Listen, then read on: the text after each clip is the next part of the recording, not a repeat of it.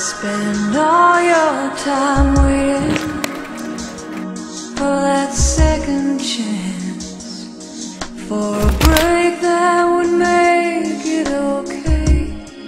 There's always some reason to feel not good, This is only for you. and it's hard at the end of the day. I need some distraction.